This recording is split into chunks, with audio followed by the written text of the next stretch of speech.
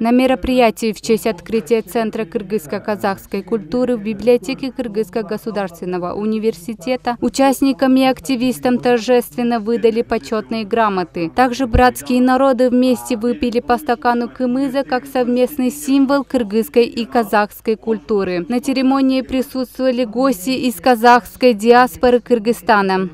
Абая, его, его вклад и, и вообще в общей литературе, в мировой цивилизации очень значителен. Да?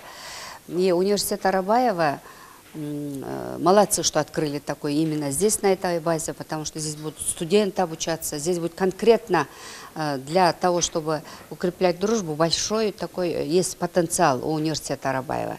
Открытие этого центра внесет огромный вклад в сохранение и укрепление культуры, языка и традиций народа. В дальнейшем культурный центр планирует оказание помощи школьникам, студентам в изучении кыргызского и казахского языка. И также внесет свой вклад в сотрудничестве между двумя соседскими странами. Роль Абая Кунанбаева очень велика в становлении становлении и развитии казахской литературы в целом.